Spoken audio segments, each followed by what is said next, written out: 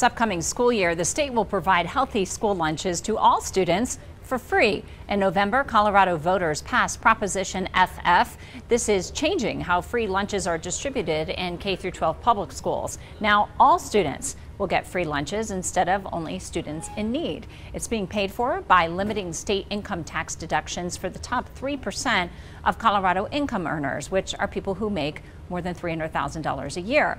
Districts do have to opt into that program, though. Yeah, one local district is sharing how the process works and some of the challenges they faced. In Woodland Park, the superintendent told us today the biggest challenge making sure they could continue working with their third party food vendor.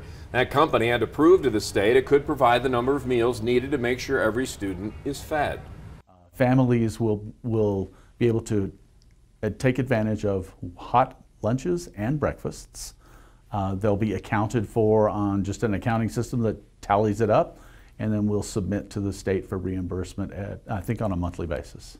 An important note for families who currently qualify for free or reduced meals, you'll still want to apply for these programs again next school year because those applications are used to approve families for things like discounted transportation services, class materials, extracurricular activities.